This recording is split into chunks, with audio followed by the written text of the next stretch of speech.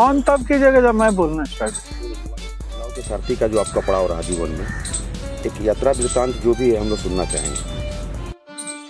देखिए मैं गोपालगंज बिहार का एक छोटा सा जिला है और उस छोटे से ज़िले के एक छोटे से गाँव लूसी का मैं रहने वाला मेरी पूरी पढ़ाई लिखाई और पूरे बचपन जो मेरा है वो गाँव में ही बीता है।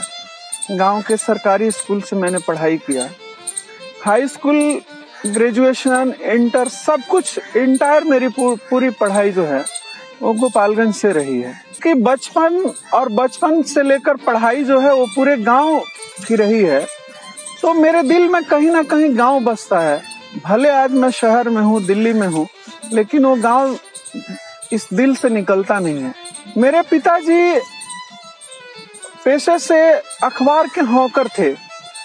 जो उस दौर में, वो बंगाल में, अलीपुर द्वार में नौकरी करते थे। लेकिन दादाजी के देहांत के बाद वो गाँव चले आए।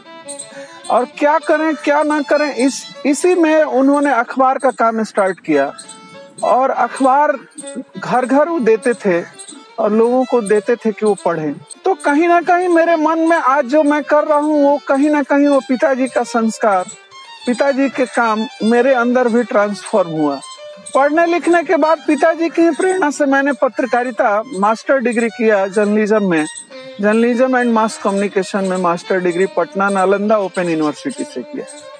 उसके बाद पत्रकारिता की हमारी जर्नी शुरू हो गई। लेकिन वो गाँव का बचपन, पिताजी को देखना, गाँव में किताबों का अभाव, किताबें मैं दिल्ली आके देखा कि किताबें भी कोई चीज़ होती हैं, किताबों से दुनिया बदल सकती हैं। इसकी जानकारी मुझे दिल्ली हुई। पत्रकारिता की जर्नी हमने आज अखबार, राष्ट्रीय सहारा, फिर दिल्ली आ गया। दिल्ली में कई अखबारों में काम किया, टेलीविज़न चैनल में भी काम किया।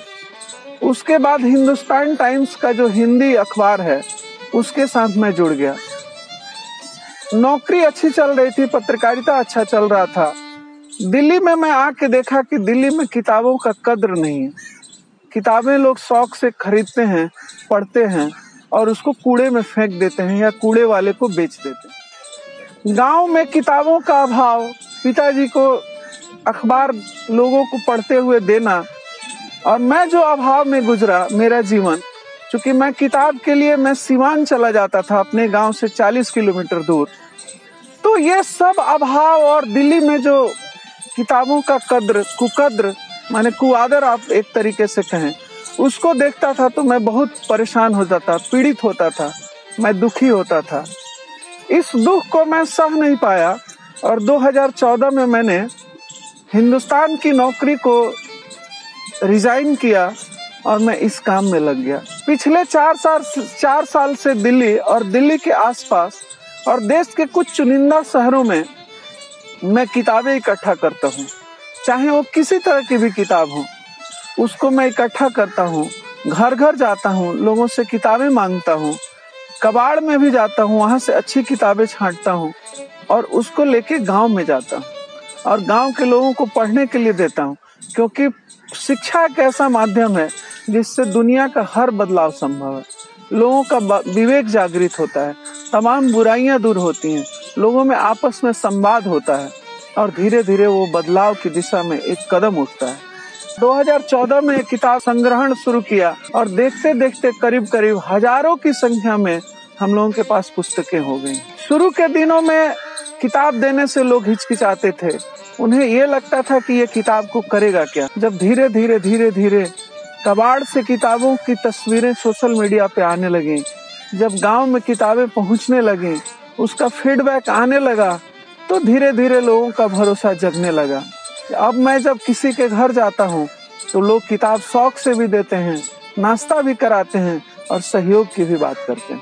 यह कारवां धीरे धीरे आगे बढ़ा और गोपालगंज के ही दुखरण में चूँकि मैं गोपालगंज से हूँ तो मेरे लिए सबसे आसान था कि गोपालगंज में जाके एक पुस्तकालय खोलना और उसका कारवा वहाँ से बढ़ाना।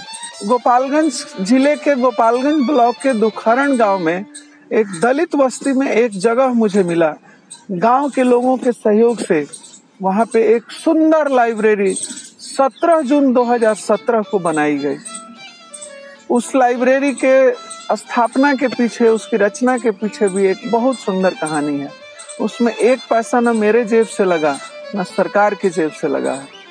वह गाँव के लोगों के सहयोग से मैंने अपील किया कि आपके घर में पुरानी पुस्तकें हो, पुरानी चेयर हो, पुराना टेबल हो, पुराना मेज हो, पुराना कॉपी हो, पुराना किताब हो, जो भी आपके घर में पुराना हो, जो लगता हो कि ये दूसरे के काम आ सकता है, उसको आप दें। और वह अभियान सफल रहा। कई लोग कुर्सी दिए, कुछ लोग लोहा खरीद के दिए। आईटीआई के मेरे मित्रों ने उसको प्रैक्टिकल भी किया और उसको टेबल बनाया। आठ बाई चार का एक सुंदर सा रीडिंग टेबल बना। रैक बना। गाँव के बच्चों ने मेरे साथ मिलकर उसको कलर किया उस भवन को और उसमें एक लाइब्रेरी की स्थापना हुई। इस तरह करते करते वो पहली लाइब्रेरी। इस तरह से और लोग मेरे साथ जुड़े। किताबें इकट्ठा हो रही हैं। रांची में, रांची के नामकुम ब्लॉक के महिलाओं गाँव में भी दो लाइब्रेरी की रचना हुई है। एक लाइब्रेरी बच्चों के लिए डेडिकेटेड लाइब्रेरी है क्योंकि बच्चे हमारे कल के भविष्य हैं।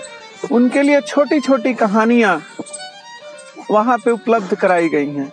बच्चे उन कहानियों को पढ़ते हैं। जो परंपरा हमारे यहाँ थी कि दादी सोने के समय कहानी सुनाएँगी, माँ सोने के समय कहानी सुनाएँगी, नानी सोने के समय कहानी सुनाएँगी, वह परंपरा फिर से हम लोग जीवित कर रहे हैं। वहाँ बच्चों की छोटी छोटी कहानियाँ। अब तो यहाँ तक कि वो बच्चे खुद से कहानियाँ बनाने लगे। इसी तरीके से बस्तर में एक हमारे मित्र मिले जो बोले कि हमारे यहाँ ये लाइब्रेरी की रचना की जाए।